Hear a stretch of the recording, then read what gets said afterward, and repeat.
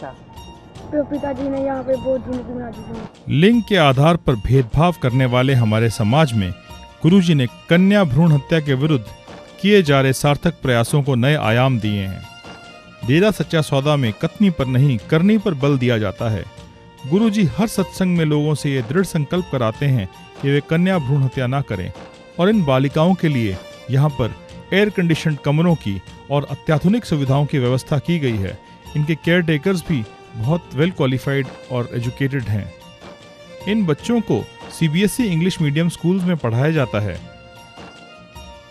गुरुजी ने इन बेटियों को अपना नाम दिया है और एक पापा और मम्मी की तरह इनके साथ समय व्यतीत करते हैं।